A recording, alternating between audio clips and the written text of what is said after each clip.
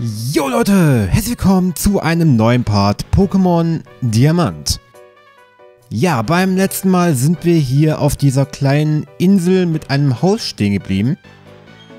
Das, glaube ich, Lieblings-Pokémon bei Rettern, äh, Ich habe keine Ahnung, was das hier für ein Typ ist. Äh, hast du irgendwas zu sagen? Hey, konnichiwa, buongiorno, Trainer.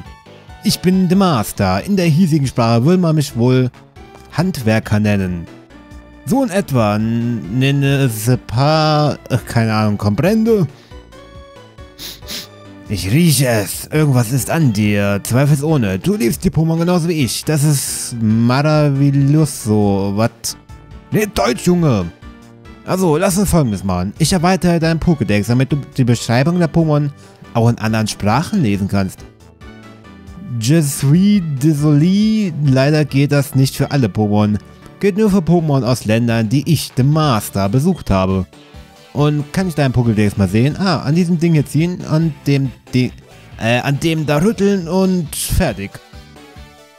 Du kannst dich jetzt über The Masters Lieblings-Pokémon in anderen Sprachen informieren. Isn't it marvelous? Ah ja, okay. Brauche ich es nicht so wirklich. Zumal ich neben Englisch eigentlich gar keine anderen Sprachen kann. Das ist das Problem, ne? Schutz wirkt nicht mehr, das glaube ich nicht. Wirkt der Schutz einfach mal nicht, das glaube ich aber mal nicht. So, da unten war noch ein Trainer, den wollen wir natürlich auch noch klatschen. Äh, ja, das war gerade ein bisschen überraschend, was äh, mit diesem Typen hier, aber äh, ja, was soll's. Und ich muss hier gerade mal ein bisschen was mit der ähm, Lautstärke bei mir aufdrehen. Weil ich höre so wenig vom Ingame-Sound. Das ist ein bisschen irritierend manchmal.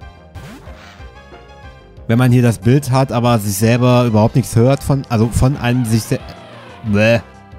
Von einem im Spiel nichts hört. So. Aber ist ja auch eigentlich komplett Latte. Wir sollten eigentlich auch bald beim Erholungsgebiet ankommen. Gehe ich jetzt einfach mal von aus und ähm... Ja, endlich mal ein Pokémon Center und neues Gebiet. Yay, da haben wir sogar alle drei äh, Gebiete gesehen. Ich glaube, da haben wir sogar fast einen Rundgang gemacht. Und dann, ja, gehen wir noch ins Wüstengebiet, dann zum Karlberg und da sind wir soweit eigentlich hier auch mit fertig und dann können wir eigentlich mit den Events anfangen. Ja, ähm, Pokémon Top 4 Rematches gibt es hier in diesem Spiel, glaube ich, nicht. Also man kann schon äh, gegen die Top 4 nochmal kämpfen. Aber da ändert sich nichts. Auch vom Level oder von den Pokémon her ändert sich da nichts. Das gab es dann erst im Platin mit den Rematches. Was ein bisschen schade ist, aber was soll's, kann man eben nichts dann ändern und ja. Von daher wird es da also auch keine Rematches geben. Sondern das einzige, was eben noch ähm, nach diesen Arealen hier kommt, nach den ganzen Gebieten, die wir noch erkunden können, ist wahrscheinlich, ähm, also sind die ganzen Events. Die werden wir noch machen und danach, ja gut, die ganzen Legis werden wir natürlich noch fangen. Aber das war's dann eigentlich auch schon. Mehr haben wir dann eigentlich nicht mehr zu tun. Wie gesagt, die Events und die Legis. Und dann war's das. Achso, genau. Einen Ort können wir natürlich noch erkunden, nämlich da in der Siegestraße. Ah, ne, hier geht's schon zum Karlberg. Da wollen wir noch nicht hin. Wie gesagt, erstmal hier hin. Das ist eigentlich die Frage. Machen, oh. Machen wir das? Mit diesem Gebiet in der äh, Siegelstraße. Ja klar machen wir das, aber wann ist halt die Frage. Wann machen wir das? Ich könnte das... Oh, das ist ein Kampftrainer, okay. Hätte ich jetzt nicht mitgerechnet, aber gut. Wann machen wir das? Machen wir das vor dem Karlberg, äh, Karlberg oder nach dem Karlberg? Auf welchem Level waren das alles? Ich glaube, das war auch mit dem Event verbunden. Weshalb wir möglicherweise auch das Event ähm, damit kombinieren könnten. Und dann, ja, Naja, ich weiß es nicht. Wie machen wir das? Ähm, gute Frage. Nächste Frage, aber ist ja auch eigentlich gerade mal egal. Das entscheiden wir dann einfach mal später. Könnt ihr ja auch gerne ein paar Vorschläge machen, wenn ihr möchtet. Wie wir das machen sollen, wie wir das nicht machen sollen. Bleibt einfach mal euch überlassen, also mit euch überlassen. Ich denke mal, ich werde mir da auch noch ein bisschen was überlegen. Äh, Menki, da kann man Skyrider rein. Und ja, da werde ich mir mal ein bisschen was überlegen und dann werden wir mal schauen, wie wir das machen werden.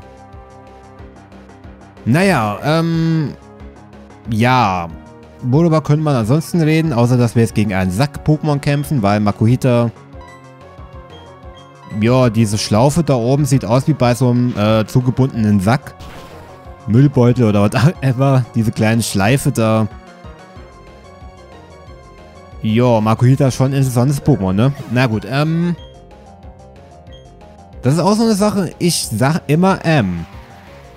Ich muss mir das mal abgewöhnen. Immer wenn ich, ähm, ja, schon wieder...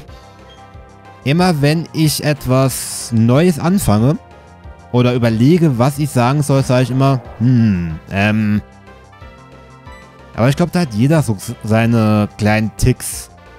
Was er da immer so sagt, das Regt mich jetzt auch nicht auf und ich merke es ja selber. Aber ist schon eine interessante Sache, ne? Jeder hat da so seine eigenen Sachen. Die einen sagen so, die anderen sagen ähm. Und so weiter und so weiter. Naja. Nun, worüber könnte ich mal so ein bisschen reden? Ich könnte vielleicht ein bisschen was über meinen Tag erzählen oder sonst irgendwas. Ist ja auch so eine Sache, ich habe ja euch mal gefragt, ähm, ob ihr mir ein paar Themen nennen könnt, über die ich mal reden soll. Kamen bisher jetzt keine Vorschläge, deshalb muss ich mir immer selber was aus dem Ärmel zaubern. Was mit der Zeit irgendwann ganz schön anstrengend werden kann. Wenn man nicht so ganz weiß, was man nun sagen soll immer. Gerade jemand wie ich, der mehr oder minder gut im Labern ist, beziehungsweise Smalltalk, weil das liegt mir eigentlich überhaupt nicht privat. Ist auch immer so eine Sache, ähm, wenn ich ja mit Freunden oder so unterwegs bin oder ja, Klasse in der Schule oder sonst was, da klappt es zwar teilweise schon, weil man eben auch nicht alleine ist, aber ich bin teilweise echt schlecht, was Themen selber, ja, im Smalltalk anzufangen. Bei sowas bin ich echt schlecht. Das ist, ja, nicht immer so optimal, würde ich mal sagen. Ich meine, gerade wenn man mal mit irgendwem Neues reden will, also wenn man irgendwelche Leute kennenlernen möchte oder ja, selbst bei Freunden oder so, wenn man da immer derjenige ist, der dann erstmal so, hm, was können wir jetzt so erzählen? Schönes Wetter oder heute, ne? Äh, es ist am Regnen. Ja, schönes Wetter, ne? oder so ähnlich, das war jetzt natürlich ein bisschen spitz äh, übertrieben, aber egal. Ähm, was können wir hier? Skunter, äh, Skunter, genau. Knakrak. Knakrak, du hast dich ganz schön verändert und irgendwie stinkst du auf einmal. Woher kommt das? Nein, ich beleidige meinen ähm, Knakrak nicht als Stinktier. Auch wenn man Stinktier cool ist. Ich mag und echt. Solange sie eigentlich anstinken. Äh, Aber gut. Ähm, ja. Einfach mal, um ein bisschen was abseits von dem ganzen Gedöns hier zu erzählen, weil ich meine, die ganzen Sachen hier sind jetzt so oder so nicht wirklich interessant, würde ich mal sagen. Kann ich ja mal ein bisschen was darüber erzählen, was ja so die Woche war. Ich muss auch sagen, die letzten Videos von mir haben mir jetzt nicht sonderlich gut gefallen. Einfach auch vom Commentary her und allem möglichen die letzten Videos, also zumindest Pokémon, weil die anderen hatte ich meistens schon am Wochenende eben aufgenommen. Pokémon jetzt eben nicht.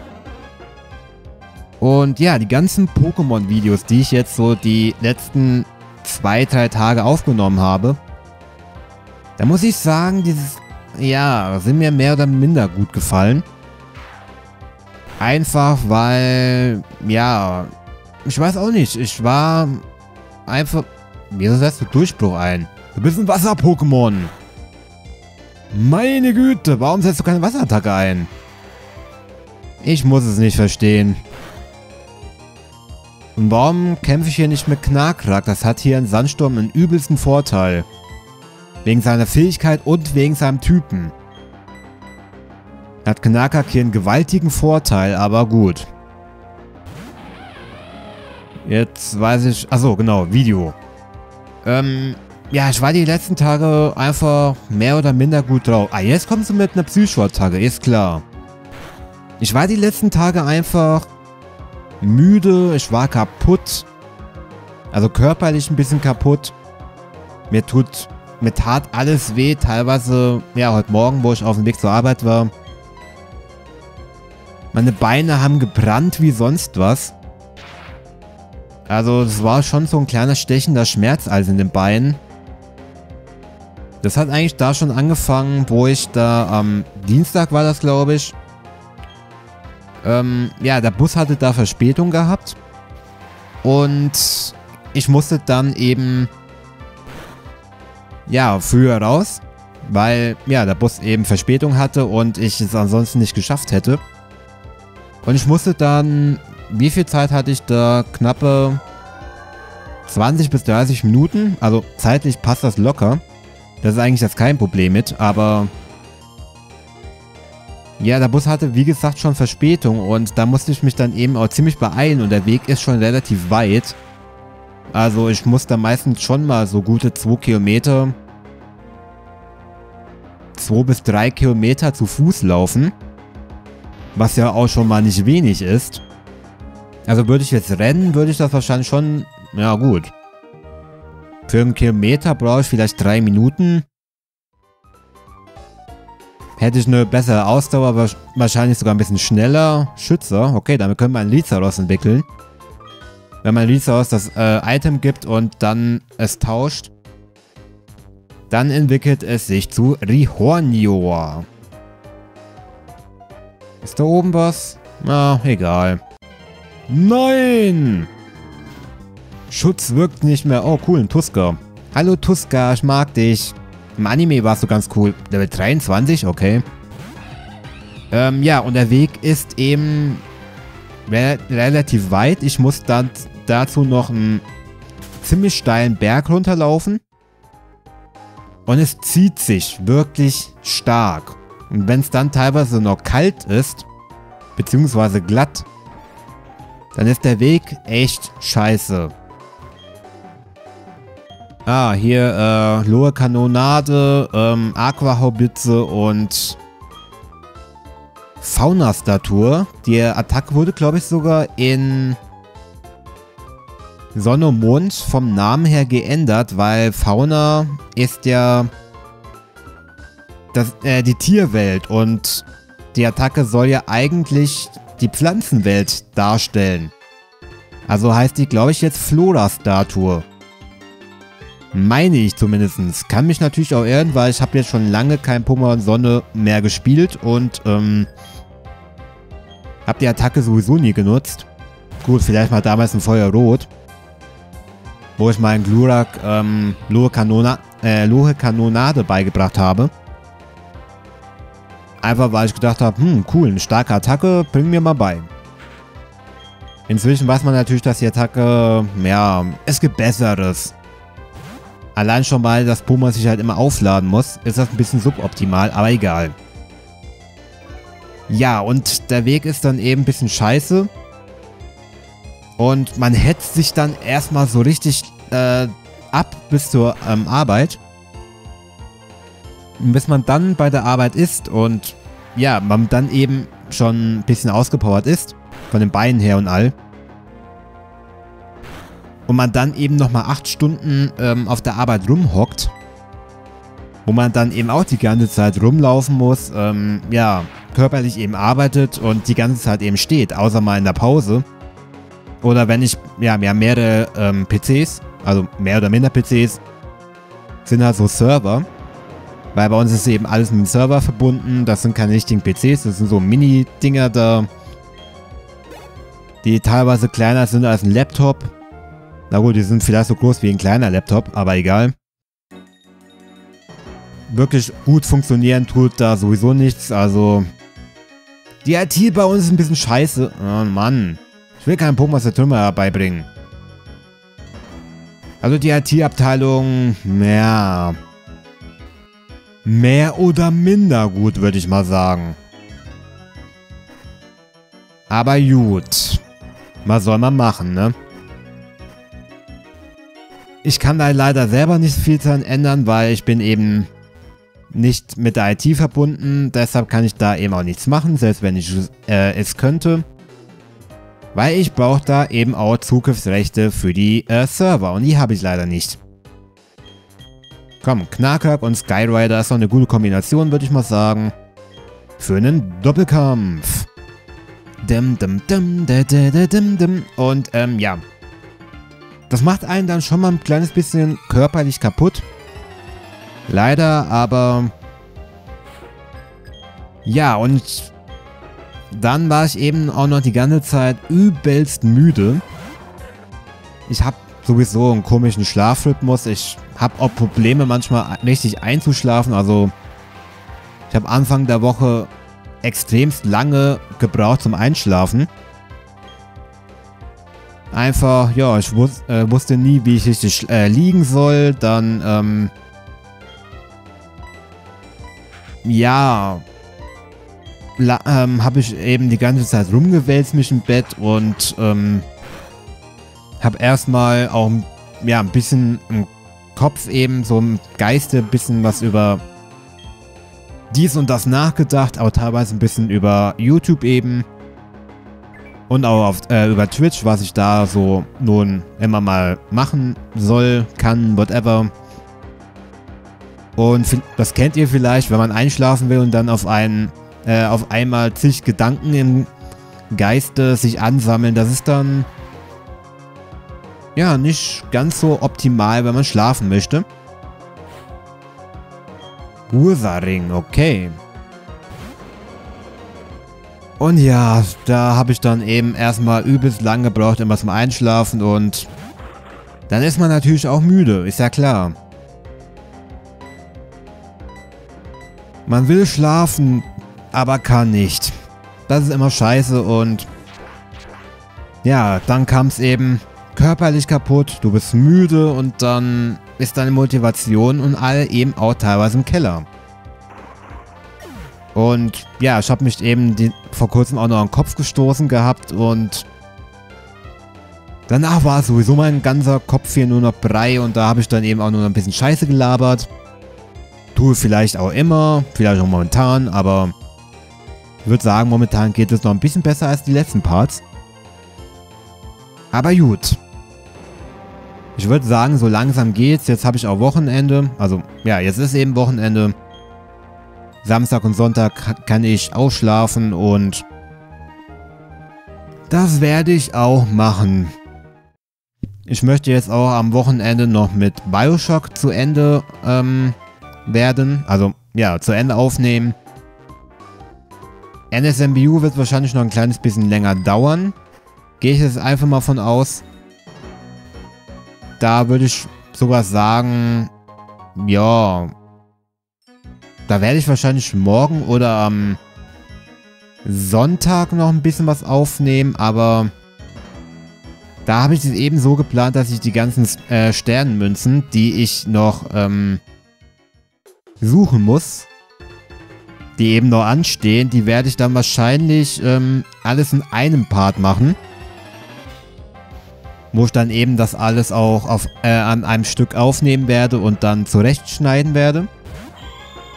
Natürlich auch ein bisschen kommentiere, aber ähm, da werde ich dann eben nur das reinschneiden, wo ich die äh, Sternmedaille finde.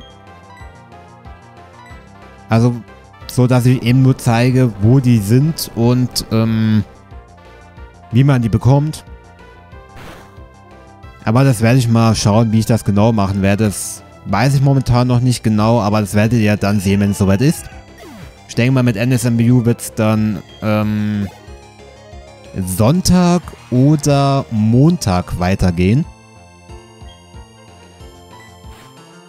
Auch wenn ich da jetzt noch nicht sagen kann, wie viele Parts ich jetzt so am Wochenende noch davon aufgenommen bekomme, weil, ja, steht eben noch ein bisschen was an.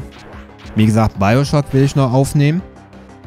Das wird wahrscheinlich noch zwei bis drei Parts gehen.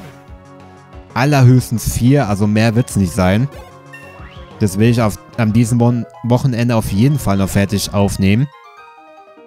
Und ich meine, so ein, zwei Stunden maximal wird sowieso nur gehen und das sollte man eigentlich, ähm, ja, dieses Wochenende noch geschafft bekommen. Da kommen gegen den Psycho da, ähm, kann man auch mal Skuntank wieder reinschicken. Das kann ja mal nicht schaden, dann kann Skuntank auch mal wieder glänzen. Mehr oder weniger glänzen. Und ja, das ist so das, was ich jetzt noch so an diesem Wochenende geplant habe. Am Sonntag wird es dann wahrscheinlich wieder einen Stream geben. Ich denke mal, das werde ich jetzt immer so machen, dass ich Sonntag streame, weil ja, samstags und Freitag. Also Freitag sowieso. Entschuldigung. Freitag sowieso nicht, weil ja, freitags teilweise habe ich ja da auch bis 17 Uhr. Und dann habe ich, denke ich mal, wenig Lust noch äh, zu streamen. Samstags nehme ich eigentlich immer, ja, die meisten Videos auf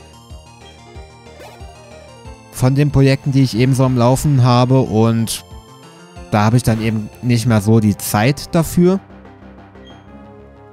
Und sonntags nehme ich eigentlich in der Regel höchstens noch Pokémon auf und von daher, also für den Montag dann eben.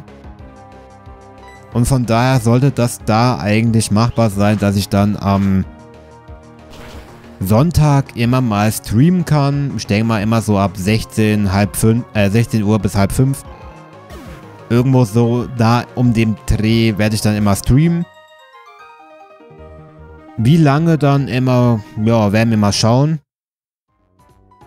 Was ich da so, ähm, ja, was sich da so finden lässt. Ich sage ja sowieso immer nur so lange, wie ich auch Lust habe. Länger mache ich nicht. Und da ich halt montags immer arbeiten gehen muss, werde ich wahrscheinlich auch nie länger als äh, 9 Uhr streamen. Aber ich denke mal, so drei Stunden in etwa sollten eigentlich auch reichen. Das war ein Spinner, genau. Okay, kommen wir vor vorbei und dann können wir noch ins Erholungsgebiet. Und hier machen wir, denke ich mal, jetzt auch erstmal Schluss. Der Part ist auch nun lang genug. Ich habe jetzt eigentlich auch so das Wichtigste erzählt. Und von daher, ja, seid ihr da nun auch halbwegs auf dem neuesten Stand und ich bedanke mich fürs Zuschauen. Ich hoffe, der Part hat euch gefallen. Wenn ja, lasst gerne ein wenig Feedback da, positiv oder negativ bleibt euch überlassen. Gerne mit einer kleinen Begründung, was euch gefallen hat und was nicht. Und ich würde mich freuen, wenn ihr im nächsten Part wieder dabei sein werdet.